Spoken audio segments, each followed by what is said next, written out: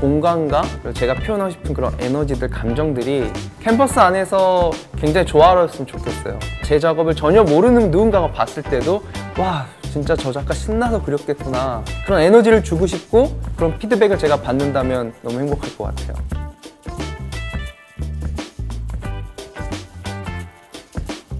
네, 안녕하세요. 아티스트 노보입니다.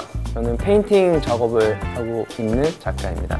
어렸을 때부터 본능적으로 그냥 좋아하는 걸 꾸준히 했던 것 같은데 활동적인 그런 걸 좋아했던 것 같아요.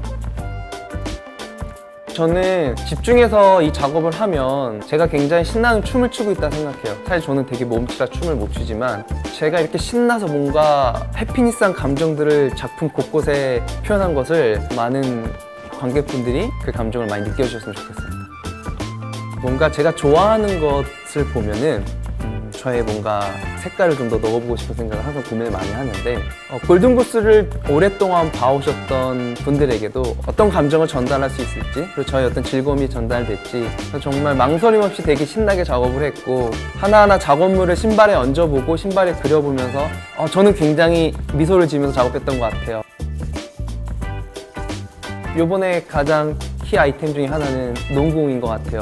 공만 봐도 뭔가 뛰고 싶고 내가 좀 살아있다는 그런 느낌을 받았던 것 같고 두 번째로는 제가 스튜디오에서 키우고 있는 오이라는 고양이인데 그 고양이를 보자면 귀여운 거 이상으로 같이 잘 공존하면서 작업하고 있는 것 같아요. 이번에 그 두 가지 아이템이 코크레이션에서 중요한 포인트인 것 같습니다.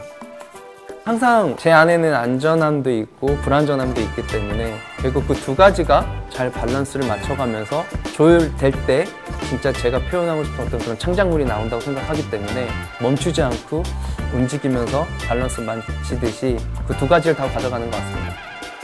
항상 다음이라는 건 정말 고민이 많은 것 같은데요.